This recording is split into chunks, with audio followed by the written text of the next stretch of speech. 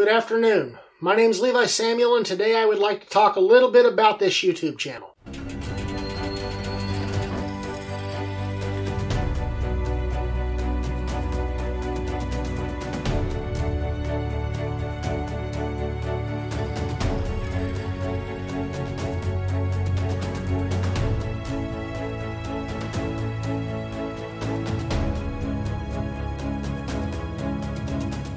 Over the past few weeks, I've been poring over ideas of what I want this channel to be about. In the research that I've done, I've discovered that there's two primary types of content on YouTube. One of them being education, and the other one being entertainment. And while I work in the entertainment industry, I'm really not the most entertaining person.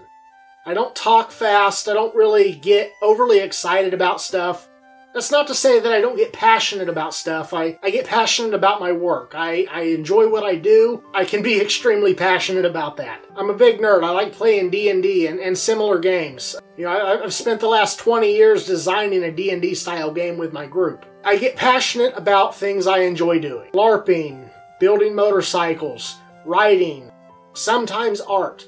I never really wanted to be a professional artist. Necessity kind of took care of that one for me. But really, since I'm not the most entertaining person, that means that the education side needs to really be my priority.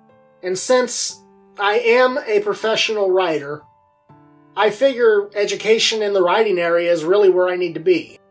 But one thing that I'd really like to point out is the advice that I give is not a magic bullet. There really is no magic bullet.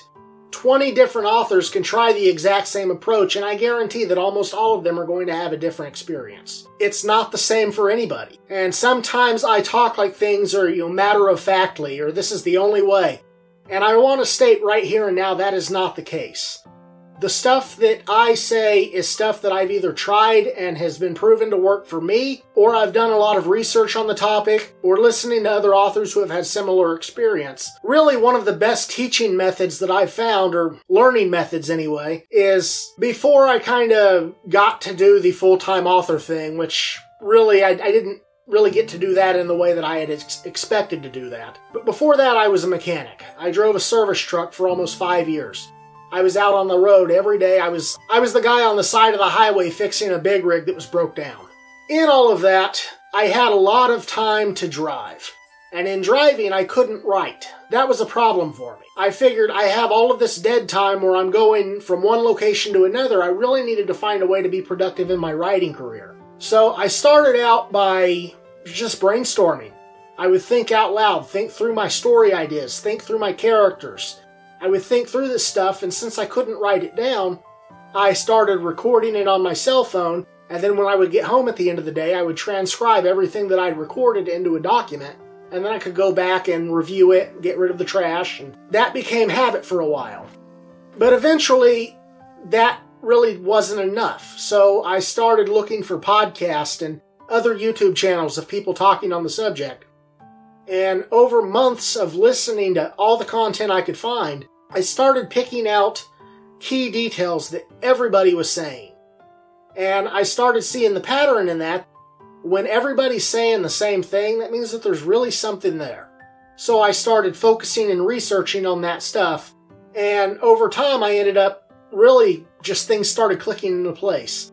And I got to where I was able to start helping my fellow authors with the same things I'd already struggled with. Now, most authors do good to sell about 200 of their books. 200's kind of the magic number there because that's about how many people an individual knows. If you write a book, you market it and sell it to your friends and your family, and it makes some rounds, and most books sell about 200 copies in their life. That's not very good for longevity. Now, whenever you start expanding further, you start making appearances, you start going to conventions, you start really getting into the marketing side of things, those numbers up. And your books will start reaching people that you don't know. And if you're lucky, people are leaving reviews. Really, there's a lot to that.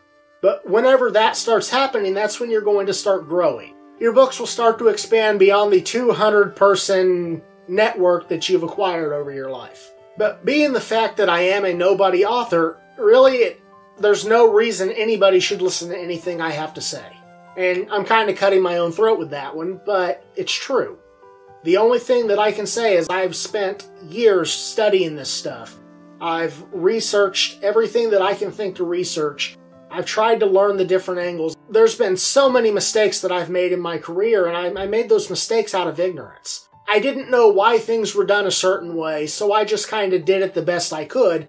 And then later on, once I gained that experience, I kind of saw where the mistakes were but I'm still going to make more. It's it's the name of the game. Really with this YouTube channel, I want to pass the experience that I've gained along to others who haven't had the chance to make those mistakes yet. And unfortunately, that's kind of a catch-22. I'm a nobody author. I haven't made a lot of success in my career thus far, but I have gained a lot of experience and I've made a lot of mistakes.